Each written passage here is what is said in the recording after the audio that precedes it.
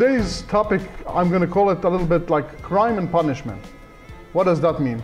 It means that sometimes even the best players in the world allow themselves to go a little crazy and play a really strange opening. And sometimes they play it against such a strong opponent that they get really punished for it. And this will be today's example. And the player who lost this game is none other than the US number one player and number four player in the world, Grandmaster Hikaru Nakamura. That's a game from 10 years ago. He was still very high rated, about 26, 60 or something, yeah. And nonetheless, he's playing a Russian Grandmaster by the name of Andrei Volokitin. And he tried something very ambitious, very, how should I say, unusual in the opening. Something that all of you probably know is a no-no. And watch what happened. That game became really, really exciting. Then we will see a nice, uh, uh, actually it's more of a composition than, than a combination. So, e4, c5, so far the game starts very normal. But now, Hikaru, who in 2005 was very experimental, he plays something very, very strange. Anybody want to guess the next move? Even a grandmaster at 2660 sometimes like to be a little foolish. He did that. He went queen h5. He really in a real tournament game, and he did it more than once. Okay, so now the game really begins. Now we're going to think, okay, this is a really strange move. The queen is coming out too soon, and a grandmaster is doing it. We have to respect it. The, the queen is attacking the pawn on c5. I don't know if this is the end of the world because black can sure get a lot of time if white is going to start taking pawns and then come back with the queen when it's attacked. So to begin with, I don't know if this is such a crazy, it's just such a great idea. But in any event, he decides to play knight f6. And he says, okay, if you take my pawn, I'll take your center pawn on e4. So be my guest, do your worst. And Hikaru says, no, not interested. I'm just going to put my queen where it's safe for the moment, defend my e-pawn, and my queen is already kind of in an attacking position. So now maybe white wants to push his pawn to e5. That could be a bit annoying. So Volokitin plays very logically. You'll see that black played this game, for the most part, in a very logical but very aggressive way, using both principles, but also a lot of imagination.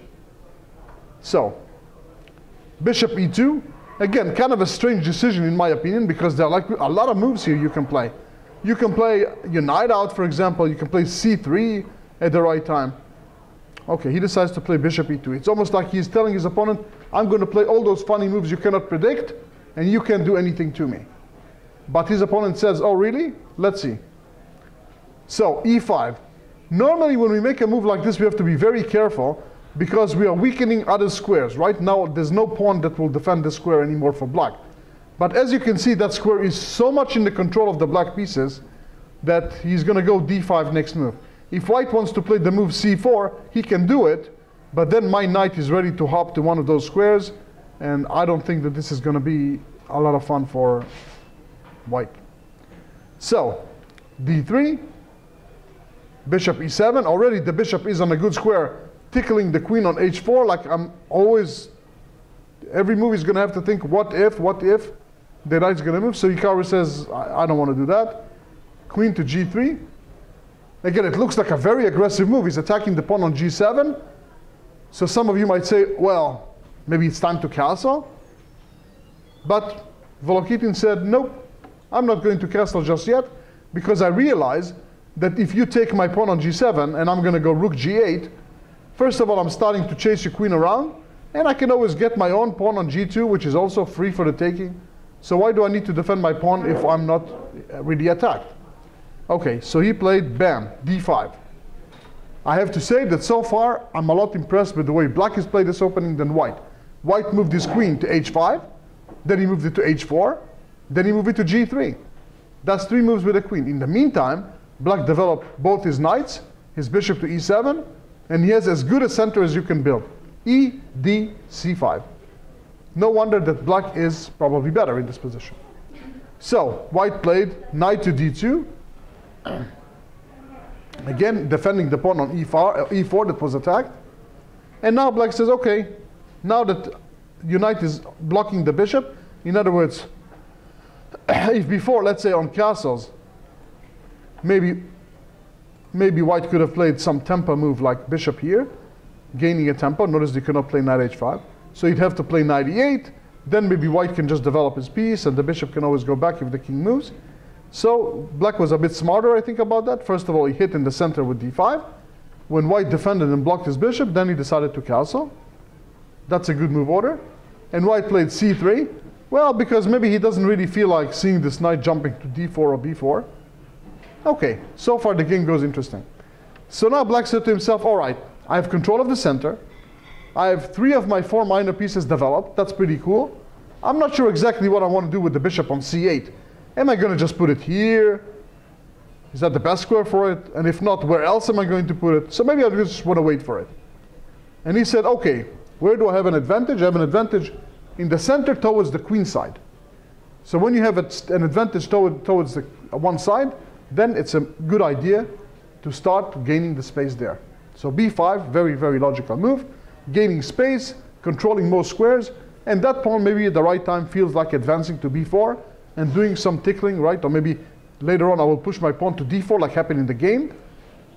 And I'm ready for a break in the center. Yes, Arjun? This is like the four pawn attack on the side. Kind of, yes. so, in this position, white is already in thinking mode because everything is a bit stuck. If you move this knight, then you're going to lose this pawn. I'm going to take it twice. As long as you don't move this knight, I can't move this bishop. And as long as I can't move this bishop, my rook in the corner is going to look funny. On the other hand, my king is stuck in the center, my rook is in the corner, and my knight hasn't been developed. So my first inclination is, okay, let's develop the knight and attack the pawn. But he didn't do it. He went knight here. What would have happened if he would have played here? I want to see hands up if you know it. Why didn't you just develop like a normal person? Knight f3 towards the center. Looks like such a logical move. I'm definitely looking for more than one hand here. I want you to look at the position, use your imagination and think, this is such an obvious move. If he didn't play it, he must have had a really good reason not to play it. Yes? Knight five, Knight 2? h5. That is quite right. Knight to h5. And uh, hmm, what's happening with his queen? Can we see a little bye-bye sign? Yeah, the queen is going bye-bye. Exactly, you're going to lose your queen. Where's the queen going to go? Not good. So now we understand why he had to play knight to the rim.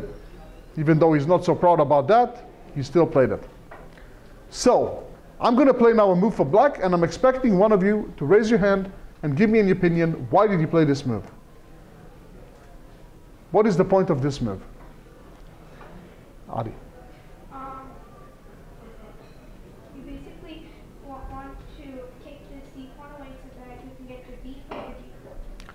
Very good. He's inviting, of course, pawn takes, knight takes, and he puts a lot of pressure. At the right time, he might want to take on c3, and the d pawn and c pawn are going to be very, very weak. Very difficult position. He also wants to do something like pawn takes, pawn takes, then b4, and once that happens, the d4 pawn, the d4 square is completely in black's control. And guess what mischievous knight is going to jump right into it? This one. So white said, okay, I'm not happy again. Let me close things up a little bit. So how many of you think that we need now to really do something about our B pawn? How many of you are, are in panic? We are about to lose our B pawn. We have to do something about it. Anybody? Nobody. That's good news. Don't be in panic. The B pawn is not important. Now everything is about the element of time, doing things before white gets organized, and trying to get the initiative. So there are several good moves here. I'm going to play another move for black, and again, I would like somebody to help me by interpreting it. This is a great move. The computer, by the way, gives it the best mark. He thinks it's the best move in the position. Maybe if I would have asked you there, I would have gotten a lot of answers. I don't know if I would have gotten many answers saying 98. But this is a fantastic move. This move has, has several good ideas. Who can explain them to me? At least three reasons, no less, three reasons why this is a decent move. Let's see if you can tell me one by one. You don't have to tell me all, all three. Arjun. You want to play knight d6, knight d7. Correct. Wait, wait, wait. One at a time. He wants to play knight d6. The knight on d6 is great. He's hitting the pawn on c4. He's also defending b5. That's a good idea. Sometimes the knight on d6 can be really supportive of the center, king side, queen side. That's one thing. What else? You could also play bishop h4. He wants to play bishop h4, activate his sleepy bishop on e7, and bug that queen that is already not very happy where it is. Very good point. And the third one, why you move the knight away from where it was? One more thing that you might achieve, Arjun? Let's see seven ninety-six. Um, not really. The knight you already agreed probably is going to land on d6 as a good square for it. Yes? F5. Yeah, you want to push the pawn to f5. At some point, you want to just open things up, and all of those things somehow happen in this game. Although you will notice that black was a bit careless at one moment, but nonetheless, it was an interesting game. So, he took on b5. I don't know if this would have been my first choice, but it's really hard to suggest anything here. What can you suggest? If this knight moves to d2 finally, then pawn takes pawn is very annoying, and black is going to have a protected pass pawn. This knight is not going anywhere, the queen is not really going anywhere. And I think he was maybe thinking, am I sure I want a castle here? Is it absolutely urgent? So he decided to take. And now, bam, attack on the queen tempo.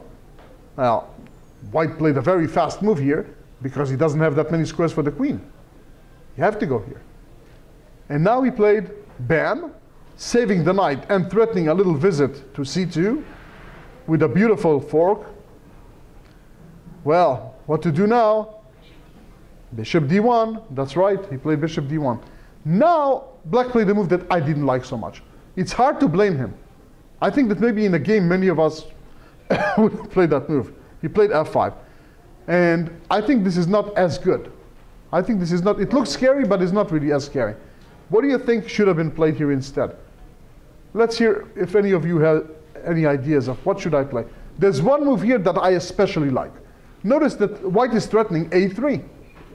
I'm threatening to play the move a3, and then where's this knight on b4 going? Out of the board, right? So if I'm going to give the knight, it's got to be a good reason. Or maybe I have a move that I don't feel like giving the knight. But then I have to think of how I want to build my structure. Yes.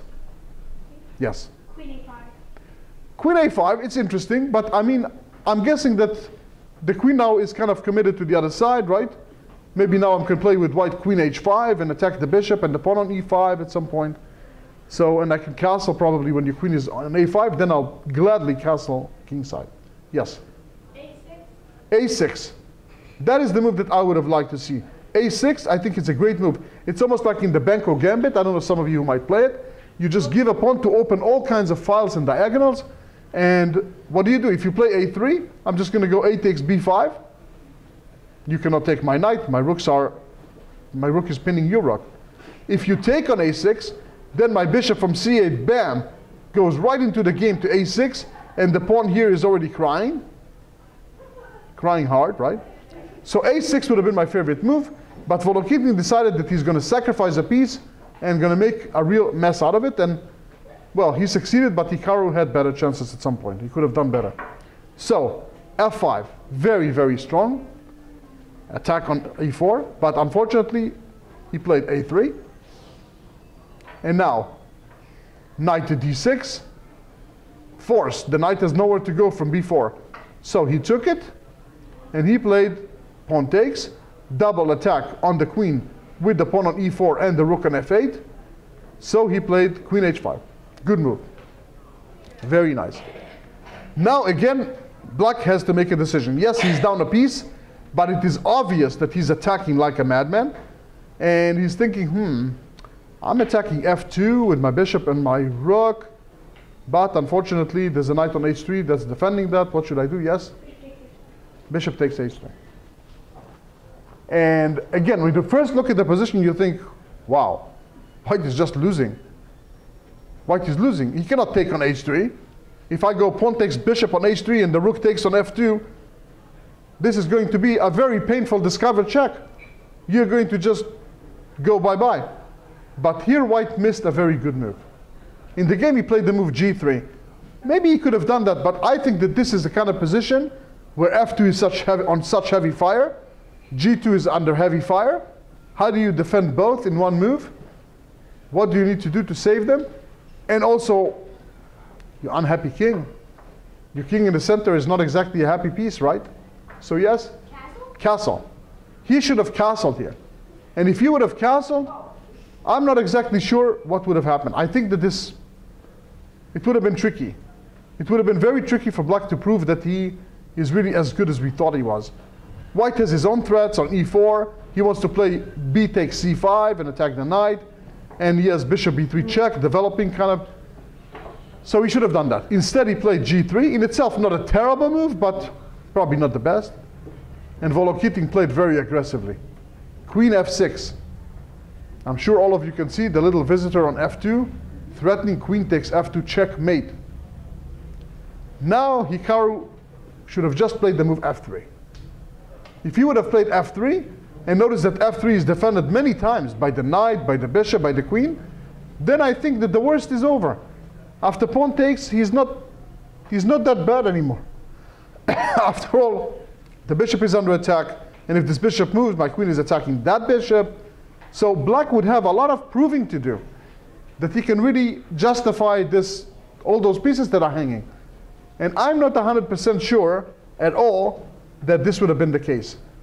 If he would have really played f3 right now, I don't know, it would have been a different kind of game.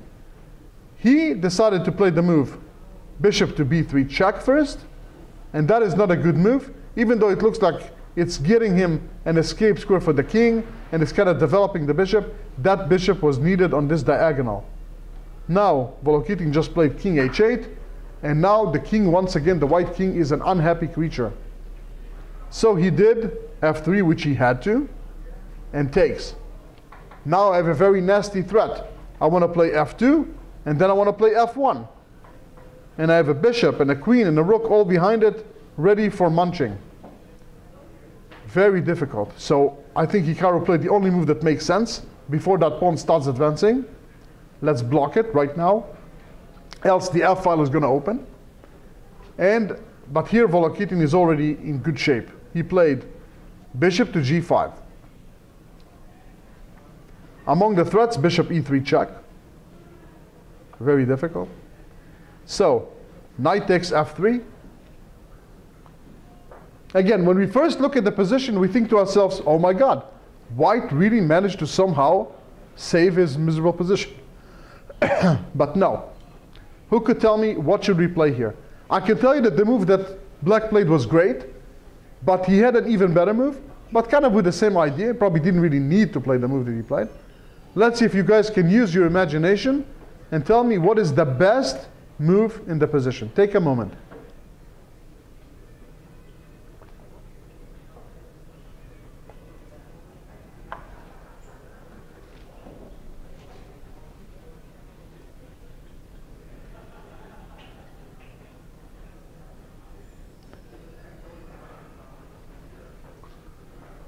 Yes.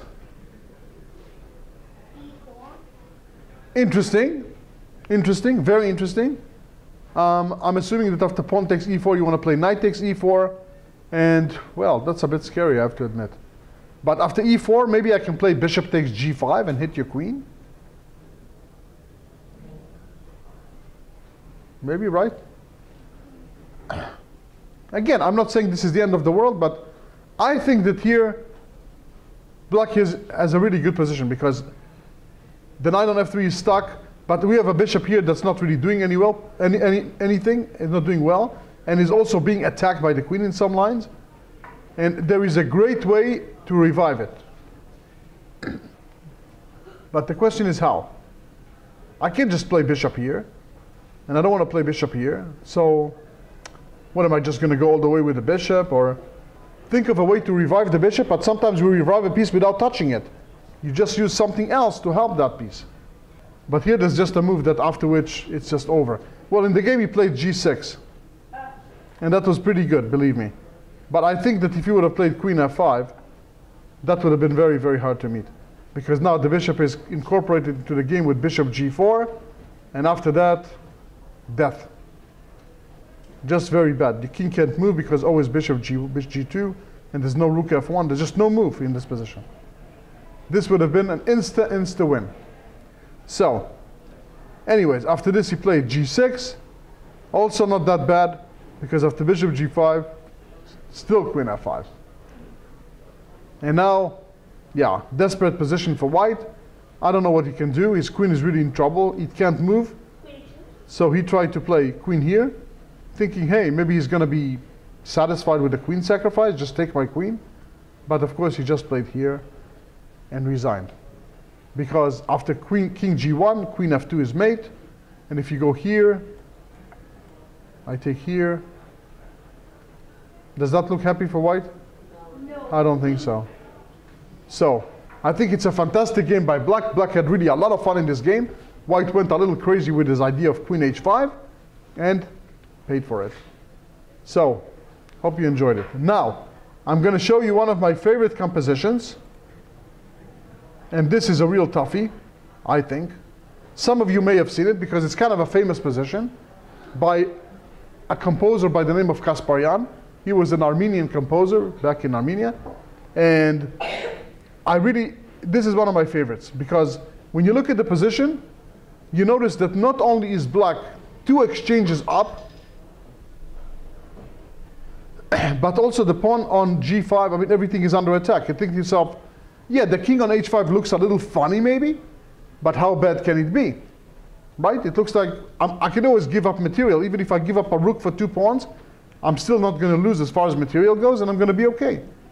But this is still a white to move and win combination. And it looks crazy. It looks like, how are you ever going to win it? I am always, I mean, even if I go like rook takes f4, I should be able to just break the whole structure, and how am I going to lose? However, you will see that, yep, this is losing. This is really losing when white moves. So, because this is really, really tough, I'm going to show it to you. And let's enjoy it together. So, the solution. Knight e8. Okay, this is kind of an easy solution. I mean, easy first move because the threat is mate. I want to play knight g7, check, king g6, bishop f5, checkmate. Right? So not that many choices. You can play king g6, or you can play rook takes f4. Let's try to play rook takes f4. Again, sacking the rook. Now we would play knight g7 check, king here. Now, we need to kind of take all the escape square from the king. Look how beautiful chess is. Check. How many legal moves do you have? One. Then I play check. Looks like a crazy move. What is he doing? Giving his bishop? How many legal moves do you have? And then he goes g4, and it's going to be mate. Even though you up two rooks against a knight, there is just no way you can stop either me taking this rook or this rook with mate with a pawn. Beautiful, just beautiful. Any move you make, move this rook, it's mate here. Move this rook, it's mate there. Beautiful, really a beautiful combination. So, okay, the alternative. Everywhere it's made. It's mate everywhere, exactly. So he's going to try to run with his king. He's going to play king here first. Now what? Again, it looks like, wow, this is like beautiful. The king is just running away, and now it looks like there's no, no real mate. but h5 check, again, a beautiful little sack. And again, you have a problem. If you take with the king, then my knight is going to come here with check, giving you no time to do anything else. The king will have to go back here. And then we know that bishop f5 is mate. So he has to take with the rook. And now we play, oops, sorry. Now we play f5 check, exactly right. And now, of course, the rook has to take it. Now I'm going to play g4, threatening bishop takes f5 checkmate. So you can't afford to move the rook on the h file at all. So let's pretend that you will move your rook away. And not only that, you're going to move it to a position where you're threatening checkmate on your own. Of your own. You're threatening now checkmate. But now white wins the same way we saw before, just a beautiful little win. Again, a little distraction, giving up the bishop. I know what I have to do, only one legal move. Take it. And then knight g7, closing the mate net once again. And on any rook move, there's going to be pawn taking the other rook with mate.